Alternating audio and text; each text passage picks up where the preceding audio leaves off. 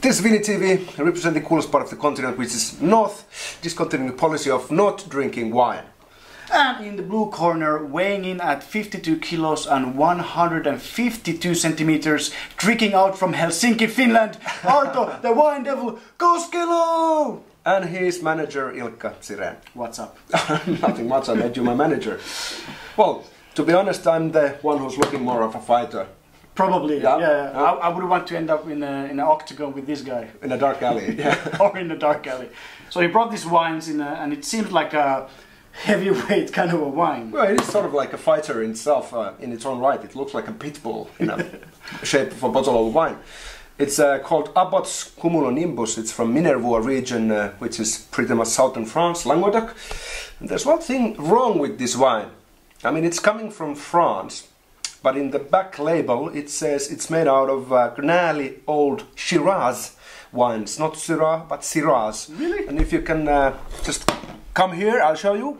So this wine is coming from here, from uh, next to Toulouse, close to Carcassonne, and the region uh, where the Syrah grape variety originally came from is like here, one millimeter here.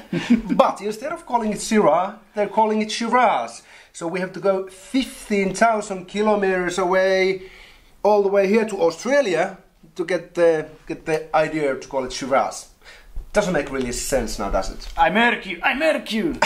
but anyway, I guess the story is that the guy who's making the wine, yeah, you guessed this, from Australia. well, it kind of makes sense then to actually. But does it really say a gnarly, gnarly Yeah, yeah, yeah. Jesus Christ. And something about terroir. So it's a perfect blend between uh, French culture and the Australian.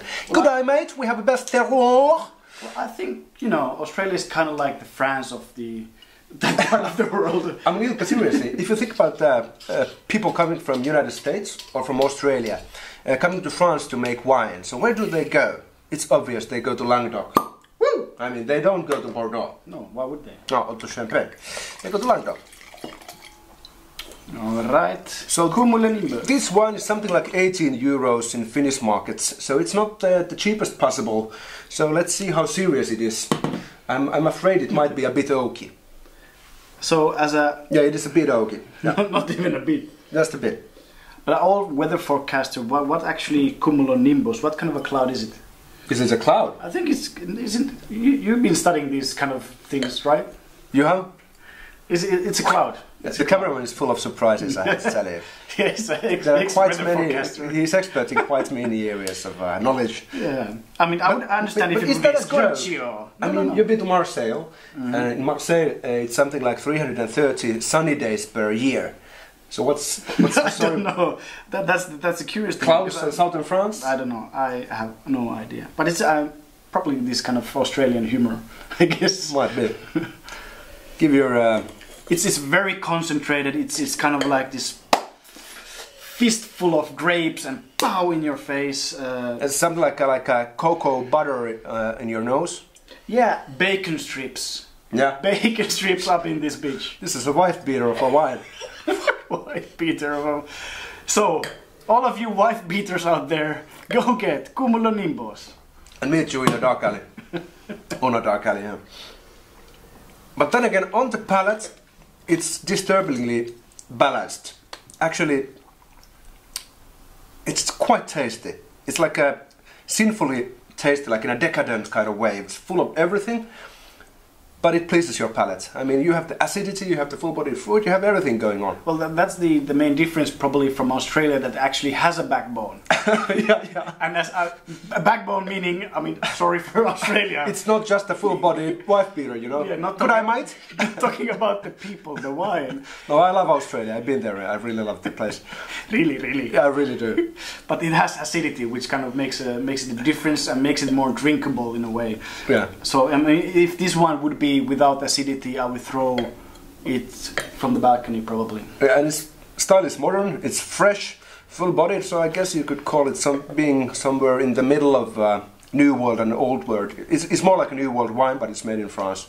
So anyway, Sounds complicated. I have to give uh, this wine thumb up. Although it's not the style I usually prefer on my dinner uh, dinner table, but I kind of like it. I mean, this wine could easily go with some uh, some hard cheeses, for example. Uh, nothing special, but I, I, it has this full body kind of thing, so I wouldn't really pair it with any delicate dishes. Like whole roasted lamb, you know, Stews or a big bull. or bacon. Anyway, it's good stuff. Uh, you should definitely check it out. Uh, in the end, do we have some sort of a question? Pop, pop the Yes. question. In this world of Syrah and Shiraz, do you actually still drink Australian Shiraz? And leave it, leave it like that. Leave it like that. That's the question of the day. So please answer the question and uh, put your comment uh, on below in Facebook or at the page, and uh, share our stuff. Yeah, there's a there's a button right under Arto's ball sack, uh, which you push it, and then you can see Google plus one, you know, Facebook, like Twitter, share our stuff. It really helps us a lot. And if you don't, then fuck you. Well, that was horrible way to end it. Yes, I don't know. Now you understand why I hate this fellow so many times. I need to stop. thank you for watching and see you next time. Bye.